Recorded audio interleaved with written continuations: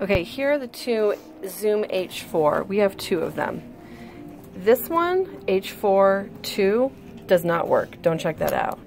This is the H4 3. It does work. You need to have the USB cable to power it. Here it is when it turns on, and you get the little menu screen. To navigate the menu screen, you're not going to use this, shockingly. You're going to use this little side toggle. And it goes up and down and also presses in. So you go down and then press in. Yes.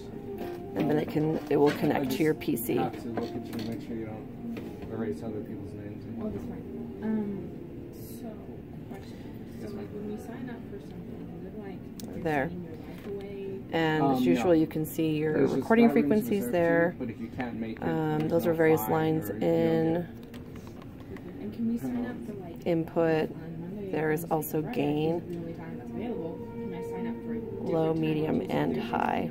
Yes, just make sure it's consistent. So if it's like Tuesday and Thursday at four, All right. it has to be. So make sure you like check out Tuesday at one, then Thursday H4 3. The H42 is not functioning.